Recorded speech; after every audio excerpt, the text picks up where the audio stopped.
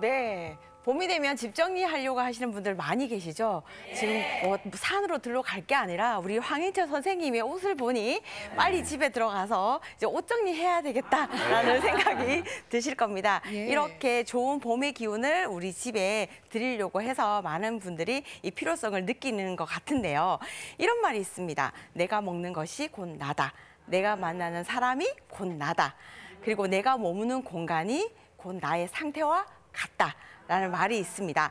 몸이든 마음이든 내 상태가 좋지 않으면 이 방의 상태로 그냥 그러, 그대로 드러난다는 그런 뜻인데요. 오늘 제가 몇 집을 보여드릴 겁니다. 이 사례를 보면 모두 마음 상태가 이 집으로 그 고스란히 이렇게 반영되어 있거든요. 제가 방 정리를 통해서 의뢰인들의 마음도 함께 정리를 해드린 것이니까 여러분 이걸 보시면서 많이 꿀팁 받아가시길 바라겠습니다. 아, 자, 첫 번째 집을 한번 보겠습니다. 어, 이 얘기를 하려고 하면 5년 전으로 거슬러 올라가야 되는데요. 제가 전화를 한 통 받았어요.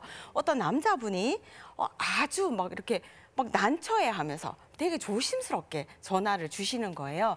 어, 우리 집에 짐이 많다. 라고 하시는 거예요. 아, 이건 또 제 직업이니까 괜찮다라고 하면서 그 집을 딱 들어갔는데, 아이고, 마당에 딱 들어선 순간에 제가 느꼈습니다. 이거 나야 되겠다. 거절하고 나갈까? 라고 했는데, 어, TV로만 봤던 그 쓰레기 집이었습니다.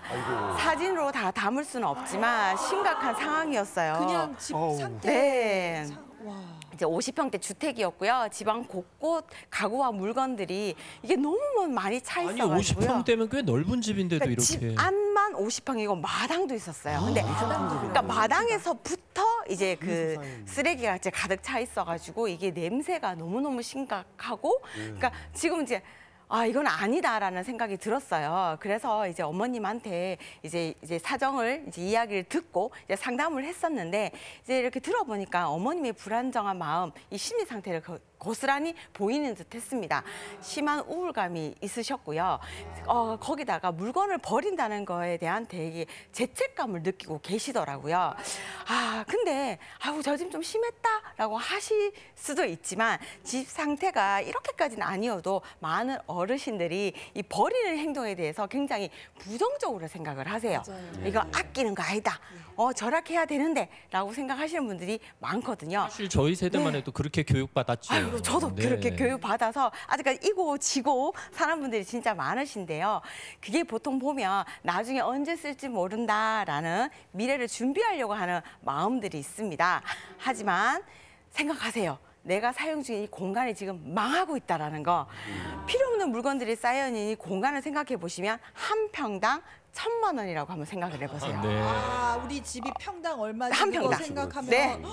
내가 한 평이 열심히 어. 돈 벌어서 집을 한 평이라 더 넓은 데 이사 가려고 이렇게 열심히 일을 하는데 그 한 평을 짐으로 물건으로 쌓아놓고 있다는 거는 진짜 심각한 거니까 지금 여러분들 이 얘기 들으니까 얼마나 우리가 심각한지 공감하시죠? 예. 네, 맞습니다.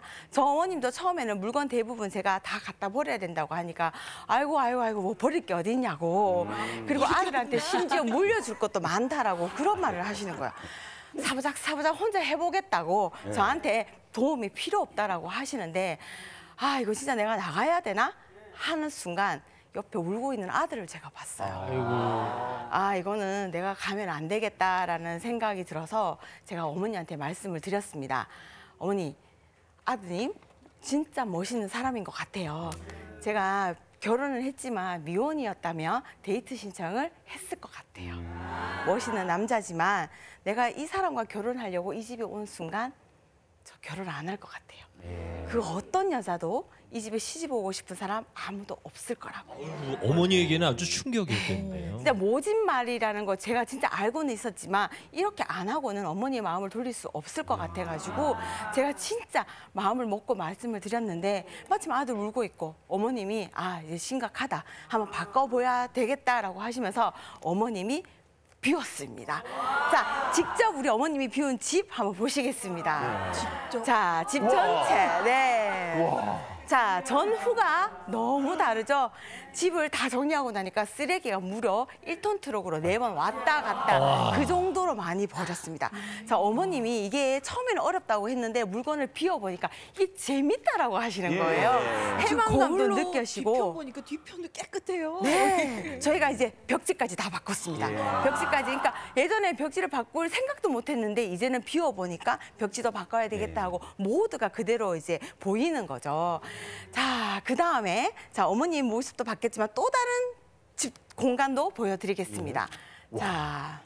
아, 식탁의 위치가 바뀌었어요. 네, 식탁의 위치가 바뀌었습니다. 일단은 물건을 없애서 식탁을 사용할 수 있는 것뿐만 아니라 제가 네. 위치를 바꿨는데 보통 주택은 이게 해가 안 뜨는 곳에 주방에 있기 마련이거든요. 주방 옆 벽에 붙여놓기 마련이죠. 네. 그리고 해가 안 들어오는 북쪽에 보통 많이 있어요. 아.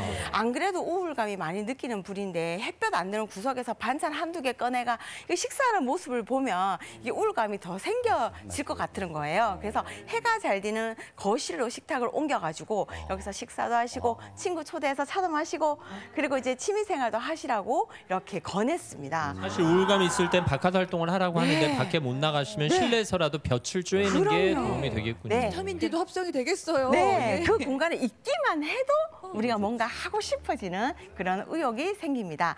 저마다 물건의 종류도 다르고 개수도 다르지만 많이 못 버리고 물건 이고 지고 사는 분들이 많으신데요. 대표적으로 어르신들이 많이 쌓아두고 있는 것들이 있습니다. 그 정리하는 방법, 활용하는 방법 알려드리도록 하겠습니다. 자, 제일 첫 번째 화장품 샘플입니다. 아이고. 없는 어머니들 다들 찔리시는 거 있으시죠? 네. 금은보화도 알고 화장품 샘플을 다 갖고 계시는데 보통 뭐라고 하시냐면 이거 놔뒀다가 놀러 갈 때 들고 갈 여행 거다. 여행. 갈 때 발 뒤꿈치 바를 거다. 놔둬라라고 하시는데요. 그게 20세기 때부터 모아주신 아, 거예요. 네, 너무 많아요. 사실은 그때 그때 바로 샘플은 써야 됩니다. 이렇게 종류대로 분류한 다음에 있는 공간에 써서 본품보다는 샘플부터 먼저 쓰는 것이 제일 좋습니다. 절대 아까워하지 마시고요. 미래를 위해 현재의 물건을 낭비하지 마시라는 거 그게 핵심입니다. 자, 화장품도 다 소비 기한 있어요. 빨리 빨리 쓰셔야 돼요. 화장품보다 내가 더 귀한데. 그럼요. 그럼요. 내 피부가 소중해요. 맞아, 예. 맞습니다. 자, 옷장으로 열어보겠습니다. 자, 옷장을 열어보면요. 작년 봄에 세탁소에 맡겼다가 이렇게 비닐에 쌓인 채 들어온 옷들이 있습니다. 예, 예, 예, 있죠?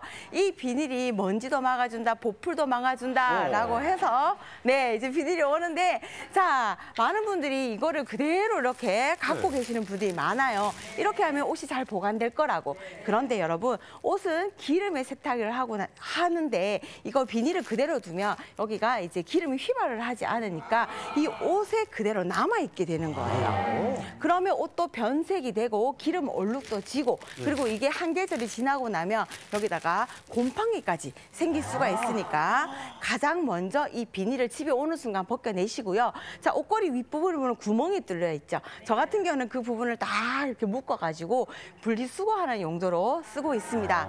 자, 이거 한다고 일부러 모아놓지 는 마시고요. 예, 예. 비닐 그때그때 소비하시는 게 제일 좋습니다. 자, 비닐보다 더 큰 문제가 뭐가 있을까요? 옷장 속에? 옷장 속에 옷이 패딩 뭐 이런 거. 너무 많아요. 옷입니다. 네. 우리 옷이 너무 많이 있어요. 근데 네. 입을 건 없어요. 아유, 모두가 옷이 이만큼 있는데도 아침마다 아유 오늘 입을 게 없다라고 예. 하시는데요. 더 이상 소비하지 않고 있는 것을 잘 활용하는 것도 좋습니다. 그럼에도 불구하고 옷을 정리하고 난 다음에도 잘 정돈하는 것도 중요하죠. 자, 이제 패딩이 들어가야 되는데요. 자, 이렇게 패딩이 한 벌만 있으면 되는데 여러 벌이 있으면 어때요? 덜렁덜렁. 네, 이게 깔끔해 보일 수가 없죠. 자, 이거를 갖다가 자, 요 안쪽에 싹 넣으면 자, 굽기에 대한 경례를 하고 있으면 자, 요렇게 보면 옷이 좀 더 깔끔해 보일 수가 있으니까 이렇게 하시고요. 앞치팩 넣지 마시고요. 이렇게 대형 세탁망 구멍이 뽕뽕뽕뽕 뚫리는 데다가 패딩을 접으면 그 이렇게 밑에 있는데 거기에다가 넣어요? 옷걸이 밑에. 아, 옷걸이 옷걸이 밑에. 아, 예, 이거요. 예.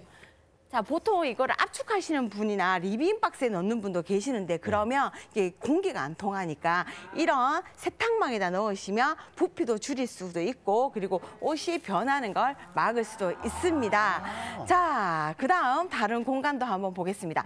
60대 부부가 의뢰한 건데요. 집 상태 한번 볼까요? 진짜 많죠? 네, 진짜 많습니다. 어, 이 댁도 만만치 않네요. 네. 놀랍게도 거실 안방 외에도 방이 더 하나가 있었는데 그 공간을 사용하지 않는 거예요. 자, 이유인 즉슨 3년 전 결혼했는 그 자녀의 방인데 언제 올지 모르는데 치우면 안 된다고. 자, 우리 어른들 그렇게 해서 방 하나를 그대로 두는 분이 있는데 제가 말씀드렸어요. 자녀한테 물어보시라고. 이대로 두고 있는 게 좋은지 어머님이 아버님이 쓸 수 있는 공간으로 마련하는 게 좋은 건지 제가 장담컨대 모든 자녀가 두 번째를 제안하실 겁니다. 어머님의 아버님의 모든 물건들을 싹 정리를 하고 이 자녀 방의 물건을 옷방으로 만들었고요. 예. 그 옷방을 만들고 난 다음에 제가 제안했는 게 있습니다. 자, 두 분의 방을 따로 분리를 시켰어요. 예. 어, 네, 각방을. 각방. 그냥 각 방이라고 하지 말고요. 일 1인 1방. 아, 한 사람에게 한 1인 방을. 1치킨이 아니라 일 1인 1방으로 해서 아, 본인만의 공간에 본인만의 공간이. 어, 제가 이거 방을 이렇게 바꿔주고 난 다음에 보니까 이 생활 습관이 너무 다르신 거예요. 어머님은 더워 죽겠어 가지고 문을 계속 여는데 아버님은 춥다 하고 계속 문을 닫고 맞아, 맞아, 맞아. 잠자는 시간도 너무 다르고 네. 그러니까 이게 오히려 사이가 더 나빠진다라고 하시더라고요. 아. 그래서 이렇게 만들어 드렸습니다. 한번 보실까요? 자, 거실이 이렇게 바뀌었습니다. 진짜 깔끔하다. 근데 네. 특이한 게 거실에 지금 침대가 보이네요. 침대 아까 말씀드렸잖아요. 우리가 방은 제한적인데 방을 계속 만들 수는 없으니까. 아, 방의 개수가 많지 네. 않으면. 그래서 거실을 어머님의 방으로 만들어서 소파 대신 1인 그 싱글 침대를 놔둬서 거기서 TV도 보시고 잠도 주무시고 그렇게 만들어 드리고요. 아버님의 공간도 더 멋지게 만들어 드렸습니다. 자, 보세요. 야, 멋지죠, 여러분? 네. 진짜 가감하게 많이 비워내 주셨습니다. 예. 지금 저보다 입을 못 다물고 계시는데 자 저렇게 원래 우리가 시작할 때 엄두가 나지 않아서인데 사실은 그 엄두라는 말을 다르게 표현하면 용기입니다. 용기를 내서 물건을 내어 보시면 물건을 비워내 보시면 우리 공간이 생기니까 이렇게 만들어 보셨, 아니 보셨으면 지금 보니까 좋겠습니다. 남편은 방에 가둬버리고 부인께서 그냥 주방과 거실을 다 쓰시겠다는 거네. 아. 근데 어 우리 가장인데 가장을 갖다가 작은 방으로 좀 넣, 넣는 게 방으로 넣는 게 좀 그렇지 않나라고 하시는 분도 있을 수 있는데 우리 남자와 여자가 다르게 태어났습니다. 여자들은 이렇게 환하고 이렇게 넓은 곳이 좋다라고 하면 남자분들은 조금 어둡고 네. 작고 나를 조금 이렇게 좀 지킬 수 있는 그런 아지트 같은 공간을 좋아하기 때문에 작은 방에 남편 방에 해도 무방하니까요. 왜 안방도 어머님이 쓰고 문간방으로 보내지 그럼 남자들은. 아이고 아주 그냥. 아유, 네. 자, 남자도 다 다를 수가 있으니 이런 아유 의견을 모아서 거실에서 주무시는 분이 음식하시고 요리하시고 네. 살림 다 하면 아. 거기서 주무시라고 그래요. 맞아요. 예. 예, 우리가 모두 다 성향이 다르니까 그 성향에 맞춰서 우리의 공간, 각각의 공간을 만들고 또 같이 또 같이 어울릴 수 있는 공간에서는 또 한껏 사랑하셨으면 좋겠습니다. 자, 봄이 왔습니다. 겨울 옷 놓고 아이고 지겨워 지겨워 이거 언제 다 해? 라고 하실 수가 있는데요. 그렇게 미루면 감당하기 힘든 상황이 됩니다. 오늘 많은 사례를 보면서 정리해야겠다는 마음 드셨나요? 네. 그렇다면 해야죠. 자, 정리는 언제부터? 오늘부터. 오, 네, 맞습니다. 오늘부터 바로 시작하시면 됩니다. 네, 근데 속생각은 누가 좀 해줬으면 좋겠다. 참 쉽진 않아요. 그나저나 네. 저 여기 김재원 선배 미래가 걱정되시나 봐요. 그러게요. 문간방으로. 빛이 잘 안 들어오는 네. 집이라 커튼 못 달고 식물 기르는 재주는 전혀 네. 없는데 이 두 가지 말고 봄 느낌 낼 수 있는 인테리어 방법 좀 알려달라고. 아, 네. 자, 방을 한번 들어가 보면 우리가 이제 침대가 방의 반을 차지를 하고 있어요. 그리고 그 침구가 다 덮고 있죠. 자, 봄의 기분을 나, 갖고 싶다면 침구를 한번 바꿔보세요. 봄을 대표하는 밝고 화사한 색을 선택하시고요. 그리고 자연 소재의 면이라든지 린넨 소재의 침구를 선택하시면 이 시원한 감촉도 느껴져서 상쾌해져서 우리 집이 진짜 봄이 된 듯한 느낌을 받으실 수 있습니다. 요즘은 침구에 뿌리는 스프레이만 잘 골라도 네. 봄 느낌 충분히 구할 수 있습니다. 향도 다양하더라고요. 네. 그러니까요. 아유 오늘도 찰떡 같은 강의 감사합니다. 네, 감사합니다. 고맙습니다.